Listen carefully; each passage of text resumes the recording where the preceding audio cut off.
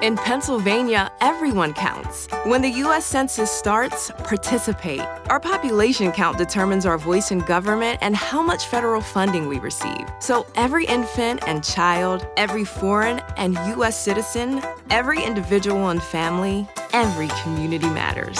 Whether you live in the country, in the city, or are experiencing homelessness. To support each other to build a stronger future, on April 1st, we all need to count.